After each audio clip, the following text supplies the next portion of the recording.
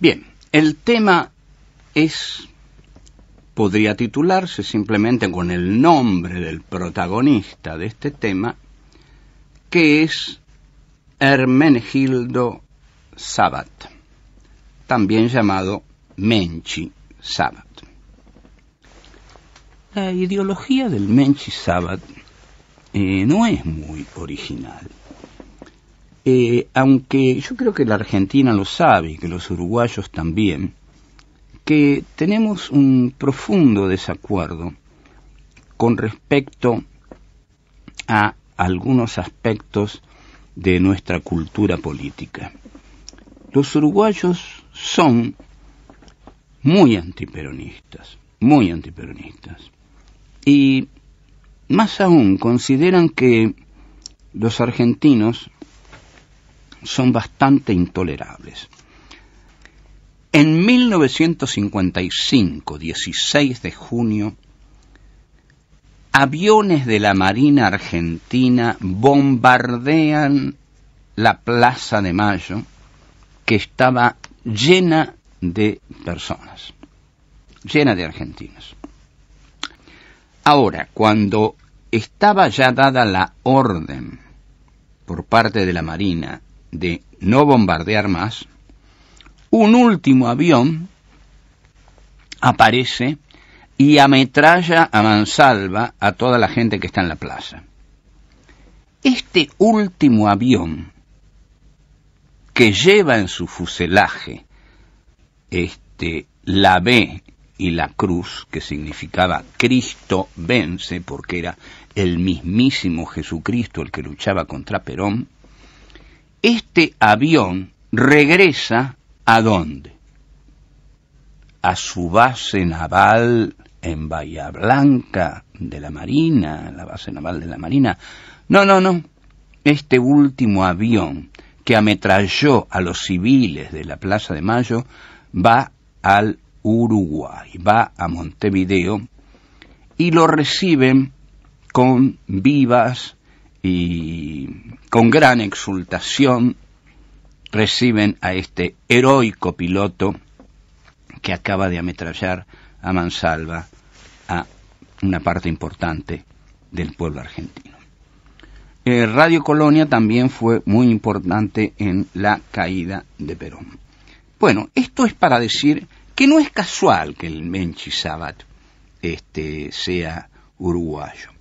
Hay otros uruguayos extraordinarios, por supuesto. Yo puedo decir dos inmediatamente. Eh, Víctor Hugo Morales y Fabiana Segovia. Y, muchos otros, muchos otros. Estos no son todos los uruguayos, pero hay una tendencia muy fuerte. En esa tendencia está incluido poderosamente el Menchi Sabat. El Menchi en 2008 hizo un célebre dibujo de Cristina Fernández con eh, la boca con esparadrapos que le impedían hablar. No sé quién puede no darse cuenta que impedirle hablar a alguien eh, no es muy democrático, no es muy humano, no es muy correcto, no es nada. Está mal que publicar un dibujo de la presidenta con la boca cruzada este, para que no hable y que de una de sus orejas sale la cara de Kirchner, como si fuera Kirchner el que habla por ella, es un dibujo bastante insultante. Sin embargo, el, el intocable Menchizaba recibe el apoyo de gente muy valiosa, muy valiosa.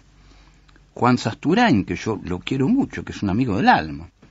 Horacio Berbisque, que es una figura irreemplazable en Argentina, escriben artículos a favor del Menche. Recuerdo el de Juan Sasturain que empieza diciendo, todos sabemos cómo piensa el Menchi. Bueno, sí, todos sabemos cómo piensa el Menchi, pero que no lo dibuje, todo que me lo diga en privado, su pensamiento tan original. Era un dibujo de la mafia, ¿no? Que la mafia dice, mejor callate, mira, porque o te callás la boca o algo te va a pasar. La torpeza del Menchi ha sido inaceptable. Usted es un ignorante, Menchi. Usted es un ignorante de lo que está pasando en algunos sectores de la defensa de los derechos humanos. Usted no sabe un pito de la defensa de género, de la defensa de la mujer. Usted no sabe que en México las mujeres las matan como a ganado y que justamente esta es una etapa en que hay que defender a las mujeres.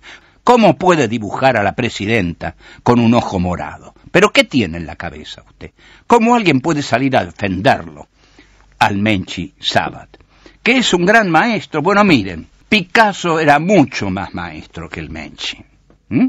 Dalí era mucho más maestro. Ahora, Picasso nunca lo dibujó este, a, Hitler, eh, digamos, dándole una piña a una mina, o, o dibujó, digamos, a Churchill, digamos, este, con un, con un vendaje bueno, en fin, este, esa gente no hacía esas cosas, no rebajaba su arte, ese tipo de cosas. Pero además, usted se está incendiando en esto. Lo van a defender. En los lugares donde va usted le van a decir, muy bien, Menchi. Pero no, Menchi, muy mal.